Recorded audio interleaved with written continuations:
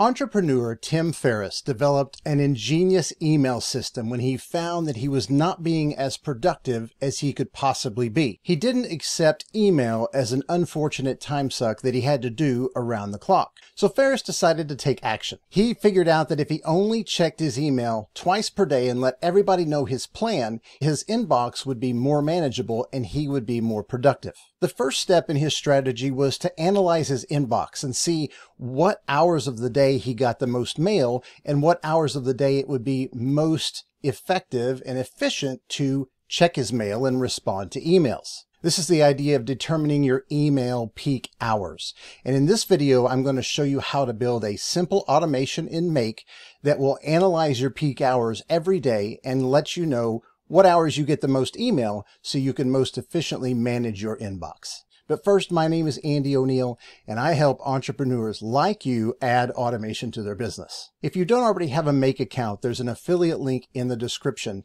and I would appreciate you using that because it just helps support the channel, and it doesn't cost you any extra to use that link. All right, so I'm in here in Make. I've created a new scenario and we're going to jump in and start building this. And the first step we need to do is we need to add a Gmail step that will watch for new emails. So I'm going to type Gmail and I'm going to type watch emails. That is the trigger. And I've selected my connection here. If you don't have a connection and if you're new to Make, you're going to click the add button and it's going to pop up the authentication box for you to connect Make with your email account so they can talk to each other and so you can build this automation. All right, next we need to pick the folder we're going to watch in Gmail. So I'm going to go click on this folder. and I'm going to click all and we're going to select the all mail folder we're going to do a simple filter and we're going to say all emails. So we're going to be watching all emails in the all mail folder. Basically, we're going to watch everything that's coming in. Now, the maximum number of results, this needs to be enough to fetch all of your emails for a 24 hour period. I'm just going to put a thousand because I don't get anywhere near a thousand emails, uh, but you want to make sure that this is high enough to get all of your emails for the day and hit OK. It's going to ask us where to start looking. And so we can get some test data back to use, I'm going to say emails after a specific date, and I'm just going to go back to yesterday. So that'll bring me 24 hours worth of data. When we're done with this, we'll run this once a day, which will give you a full day's picture of when your peak hours are for email. So I'm going to click run once, and now it brought us back some data. If we scroll down here, we can see we have 33 emails that it fetched in the last 24 hours. All right, so next we need to add a numeric aggregator. And you can go right down here to tools and find that. Scroll down right here is a numeric aggregator. I'm going to put that there. And our source module is going to be first module, our trigger. We're going to aggregate and we're going to say count. And what we're going to do is we're going to format a date here. Actually, we're going to turn this on here and we're going to group by. We want to count these by hour of the day. So we're going to group the emails and it's going to count them by the hour we select. So we're going to format this, format date, and we're going to map the date here. So all you have to do is make sure your cursor's in the right place and click date, and then a semicolon, and we're going to type a lowercase h and a close parenthesis. So this is going to format the times. You can see here, this one is January 27, 2024 at 2.37 p.m. So we're going to format this, and this is going to end up being a 2. So it's just taking the hour. And then we're going to do a colon zero zero. We're just going to hard code that because we're going to make all of these match up by the hour. So some of these are going to match by 2 o'clock, 3 o'clock, 4 o'clock. That just means they were sent in the 2 o'clock, 3 o'clock, or 4 o'clock hour. And then we're going to add another format date. And we're going to add that date again and semicolon and a capital A. So this is going to give us our AM and PM. So this format date is going to say like, if we have, we have this 237 right here. So it's going to give us the two and we're going to just going to put a colon zero zero. So that's going to make it two o'clock. And then the A is going to tell it it's, it's either AM or PM. In this case, it's PM. And then right down here, we want to count and we're just going to put a one in there. We're going to count the ones based on the hour of the day and that'll give us our analysis per hour.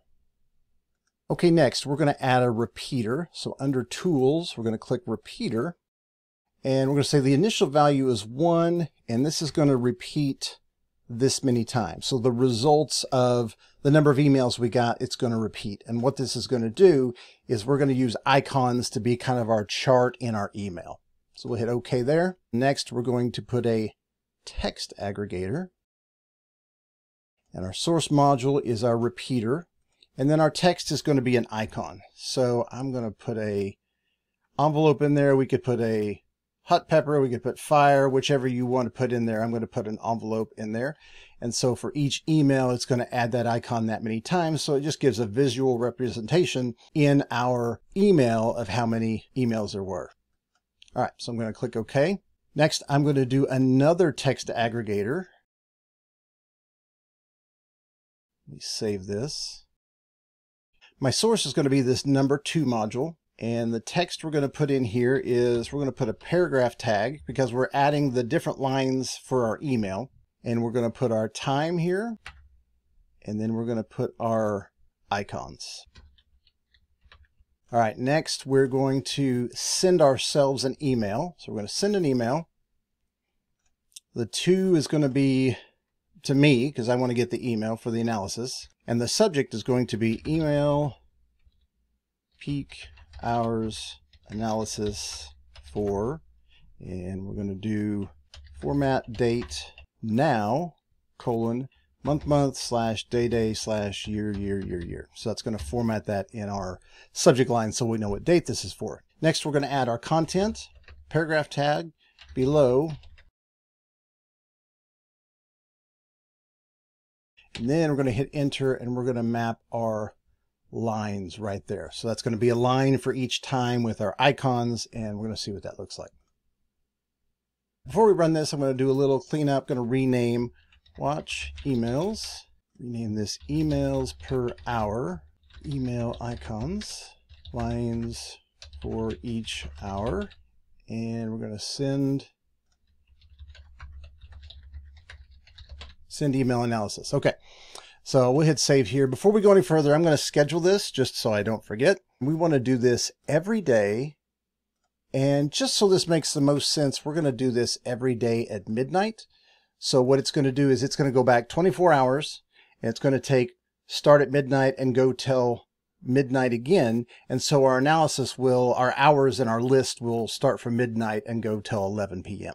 So it'll make a little more sense than running it in the middle of the day and it might run from 3 p.m. to 3 a.m. So just run it at midnight just for ease of readability when uh, this drops in your inbox. All right, I'm going to right click and choose where to start. And I'm going to say emails from after a specific date. And I'm going to go yesterday and I'm going to go ahead and make this 12 a.m. All right, so we're going to get a little bit more of a day. We're going to get a day plus, but at least you'll see how it starts at midnight and goes through. All right, okay save, and let's run this. All right, so we have we have data that came through. We have 42 emails in that amount of time. Let's go take a look at the email we received. Okay, so here's our email that we received, and you can get an idea here of what this looks like. Uh, looks like 8 a.m. is a uh, fairly busy hour of the day. Um, so is 10 and 11. So, you know, our biggest day, uh, biggest hour of the day is eight. So when we're doing our analysis for when we want to send our batched emails, you would look at this and decide what hours during the day might be best. So I think 8 a.m. would be a good time and maybe 4 p.m. Looks like we get several on the 10 and 11 hour, uh, and and maybe maybe check those at 4 a.m. So I think I'm going to select my times based on this analysis. And this is just one day. I would run this a few days, at least a week, to get an idea over a week what it looks like. I'm actually recording this on the weekend, so this is not an accurate representation of what I get during the week. But this is what your email would look like, and you can see exactly when your emails are coming in and when would be the best two times of your day to check your emails and respond to them in the way that Tim Ferriss does. Now that you've set up your analysis and you know exactly the best times to respond to email throughout the day, jump over to this video and I will show you how to automate that delivery to where your inbox stays empty until those times roll around and we will batch deliver those emails so you can maximize your productivity during the day. I'll see you then.